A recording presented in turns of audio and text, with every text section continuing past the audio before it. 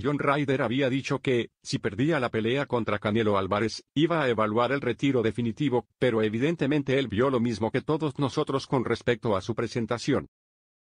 Aparentemente, no se retirará y su entrenador reveló que ya está detrás de un combate que podría ser de lo mejor del 2023. Tony Sims, coach de John Ryder, habló y afirmó que tiene intenciones de que su pupilo enfrente a Gennady Golovkin. John Ryder fue aclamado por todos los mexicanos tras su pelea. John es como un peleador mexicano que pelea con el corazón y nunca se rinde.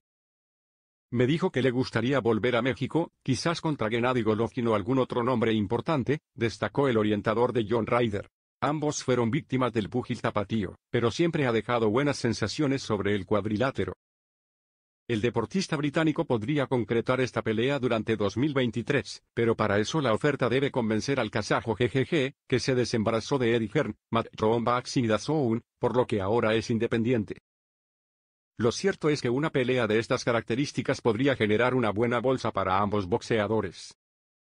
Si bien perdió en seis oportunidades sobre el cuadrilátero después de caer ante Álvarez, Ryder tiene la premisa de haber perdido una sola vez por nocaut que data del 30 de mayo de 2015, cuando perdió por COT en el séptimo asalto contra Nick Blackwell en el de 0-2 Arena de Londres.